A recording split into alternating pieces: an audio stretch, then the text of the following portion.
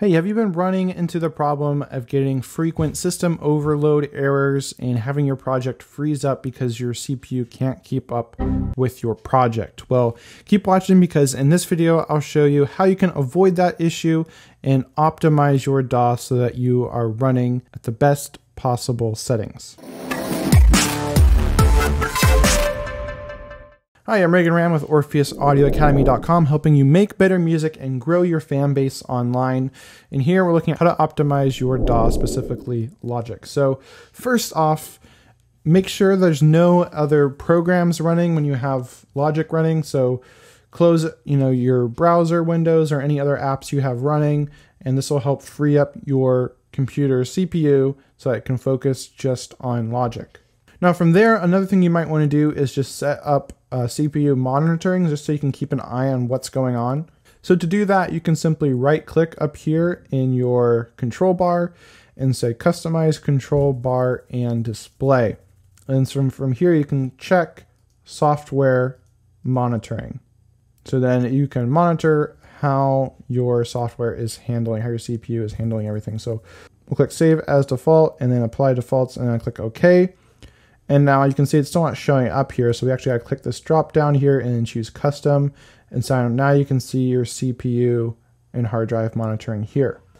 Now, another thing you can do to help your DAW, to help Logic run better, is to actually save your projects to an external device. So that's what I'm doing here. I have this external device called Orpheus, and I have a folder on there called Logic. I'm saving all my Logic projects here on an external device so that all my computer is running is the software and all the, the plugins and everything, but it doesn't have to handle actually saving the project that's on an external device.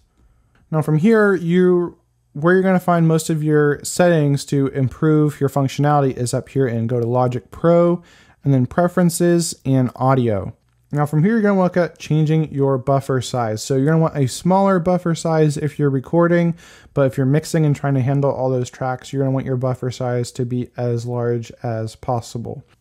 And by the way, if you want to learn more about buffer size, then you can click the card above to check out my video that's all about buffer size and what is the best buffer size that you should use for recording and mixing.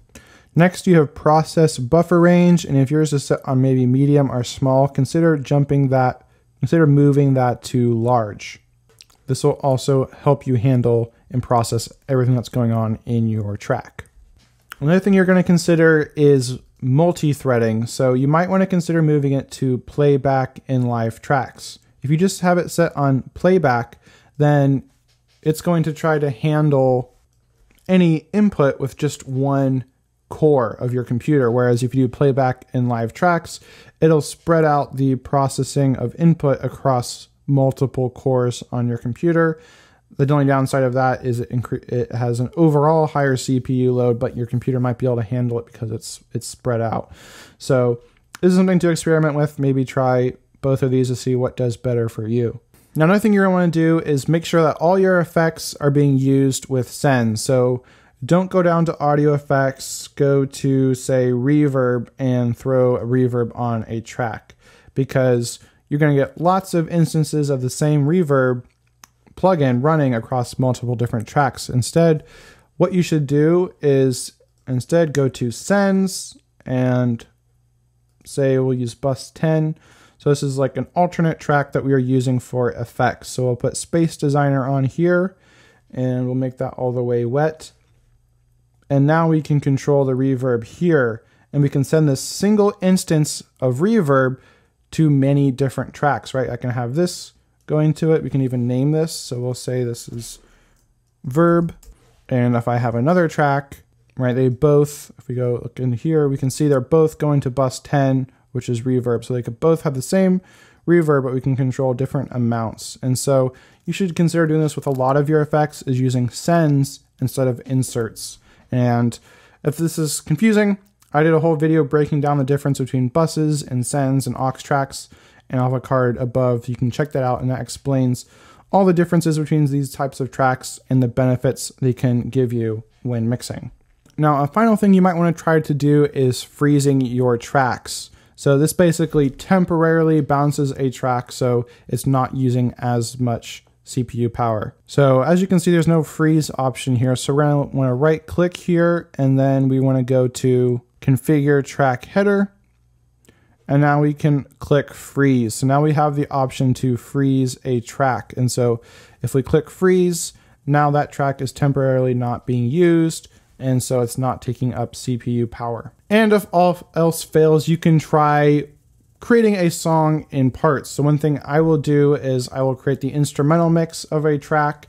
And then because I use a lot of vocal tracks typically, I'll then bounce that track to stereo and then I'll add all the vocals over that track, over that stereo track. I'll add all the vocals then in a separate project. And then I bounce that down and I open that in a, another separate project for mastering. So I've kind of got the song creation, vocals, and then mastering, and that saves on CPU power versus trying to have one project that has all your instruments and all your vocals.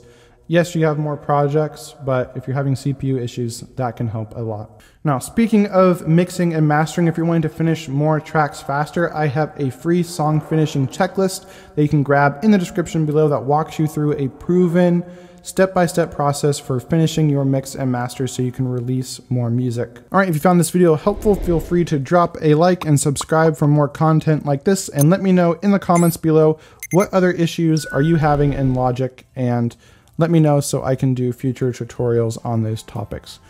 All right, with that, have an awesome day and I'll see you in a future video. Bye.